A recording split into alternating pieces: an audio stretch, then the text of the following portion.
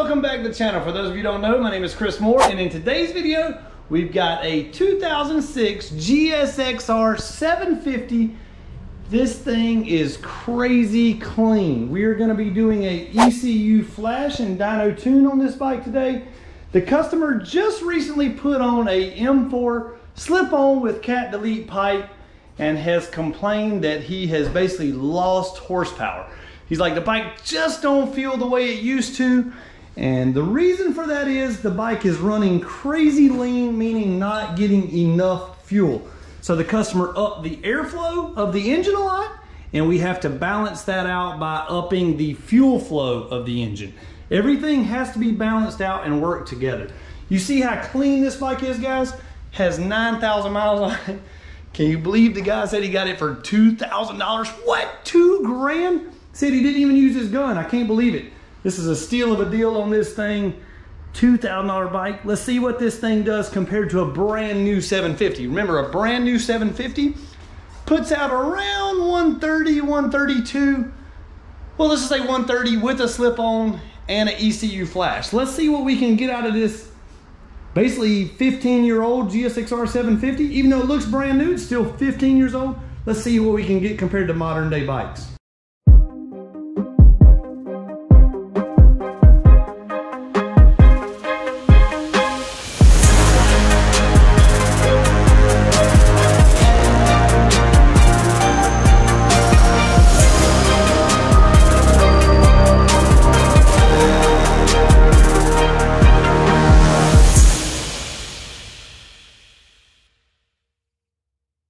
Right, guys, baseline pull on this 750. Let's see if the customer was right. Did he lose power?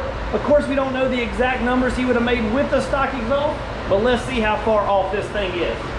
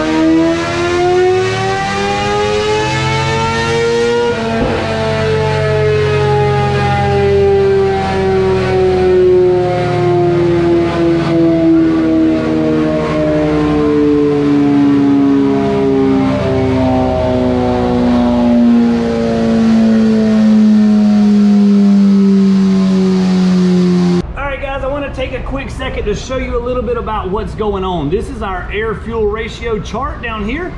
The higher this num the curve goes up here, the leaner the bike is. Lean means not getting enough fuel. So you can see we max out the gauge here on the dyno, and you can see we almost max it out right there, and then we're too lean out here. Now, the crazy thing was, this ECU has been flashed by another company.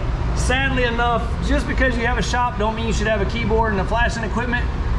Remember guys, not everyone with a stethoscope is a doctor. So we're gonna get this thing straightened out, and get this thing doing what it needs to do.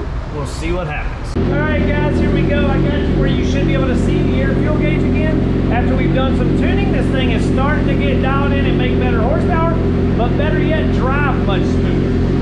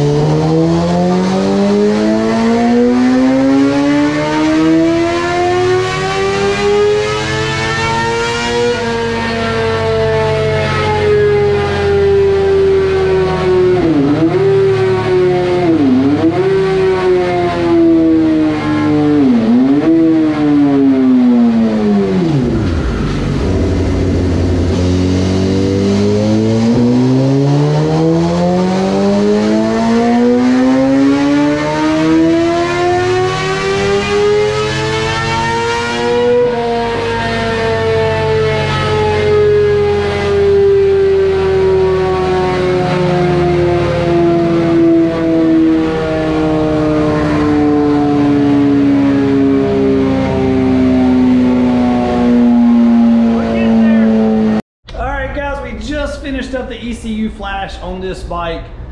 Ended up gaining five horsepower, which is strong on a 750 percentage wise. Uh, we made 55 foot-pounds of torque. You can see we fixed all the lean humps in it. You can see there where we picked up a good bit of power.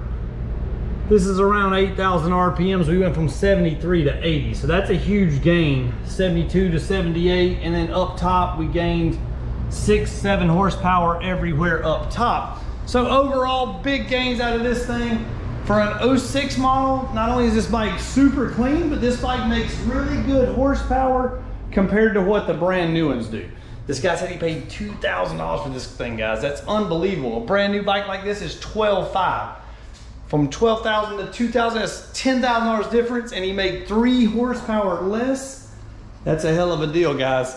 Check him out, or check me out, mooremafia.com and we can get you an ECU flash and setup. I can get you an M4 exhaust, whatever you guys need for your GSXR, we can get you fixed up. ZX10, Honda CBR, whatever you got, we'll get you fixed up. Thanks for watching, guys. Be sure to subscribe to the channel. May 15th, don't forget, it's going down. Galot Motorsports Park, me versus Rickey Gadson. Battle of the brand. Suzuki versus Kawasaki, the best of the best. GSXR 1000 versus the best of the best ZX10.